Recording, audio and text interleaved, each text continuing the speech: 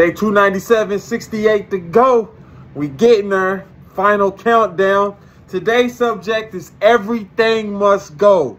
I'm talking if you got toxic people in your life, they gotta go. If you watching toxic stuff, toxic shows that are driving you crazy, it gotta go. You listening to toxic music, it's gotta go.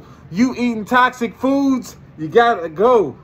All toxic habits, they gotta go. If you ever watch those real estate or those renovating home shows, the first thing they do when, when they renovate a building, they go in, they smash all the walls, they throw out all the furniture, get rid of everything. We're getting the base form. It all had to go.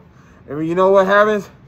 All new stuff, new furniture, new life, new love, new growth, new power, new strength, new hope, new faith. Everything must go. It's the new you, and you gonna make it